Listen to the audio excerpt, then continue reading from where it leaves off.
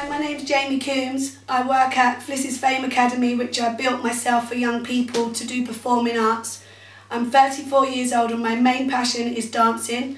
I love street dance, anything that bring the fire out in the kids, make them believe in themselves and also make me believe in myself that I can get that out.